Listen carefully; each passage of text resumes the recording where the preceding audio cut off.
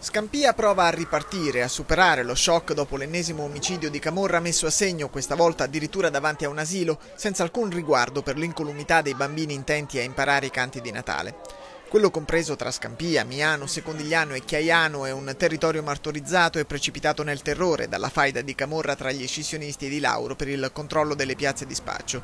Il decano del comprensorio, don Francesco Minervino, fa appello alla fede e al senso di appartenenza al territorio per trovare le forze di reagire. La Camorra eh, ormai regna e imperversa in tutte le sue realtà, anche quelle più eh, emblematiche, allora ecco che diventa una forza che non possiamo come realtà ecclesiale trascurare. In questo mi sento anche di dire questa è anche la forza di quell'etichetta che tante volte a noi non piace dell'anticamorra, questa è l'anticamorra, quella di, di dare dare forza e di rafforzare quelle radici sane che sono presenti in questo nostro territorio. Lo spirito però da solo non è sufficiente contro le pallottole. Così il presidente dell'ottava municipalità, Angelo Pisani, ha scritto al ministro degli interni, Anna Maria Cancellieri, al sindaco di Napoli, Luigi De Magistris e alla regione Campania, chiedendo interventi concreti come telecamere per la videosorveglianza e presidi delle forze dell'ordine davanti a scuole e uffici per migliorare la sicurezza nel quartiere.